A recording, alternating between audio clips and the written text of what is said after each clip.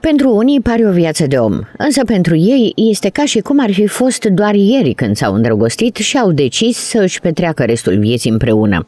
Au trecut de atunci 50 de ani, timp în care au avut atât momente de fericire cât și greutăți, dar cu înțelegere au reușit să le depășească și asta datorită iubirii care i-a unit încă din prima clipă. Pentru statornicia de care au dat dovadă, 89 de cupluri din municipiul Deva au fost astăzi premiate de către administrația publică locală.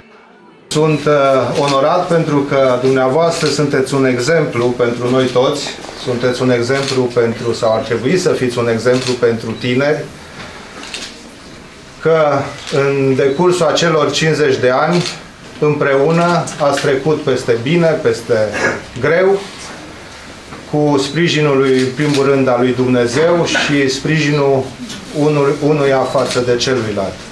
Care este secretul unei căsnicii așa îndelungate, ne spun chiar cuplurile premiate astăzi, care au dat și câteva sfaturi pentru tinerii care decid să pornească împreună pe drumul vieții.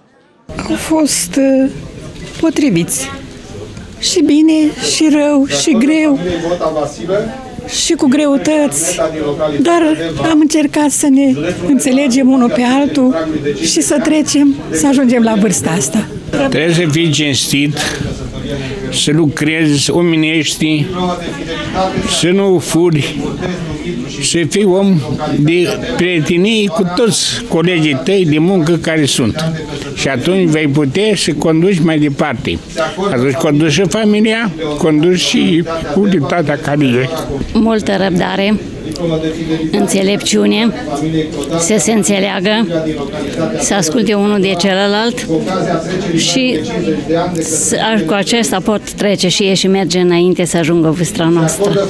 Toate cuplurile au primit din partea administrației publice locale diplome, flori și premii în bani. La finalul evenimentului, care a avut loc la Casa Căsătoriilor din reședința de județ, cuplurile împreună cu reprezentanții primăriei au ciocnit câte un pahar de șampanie.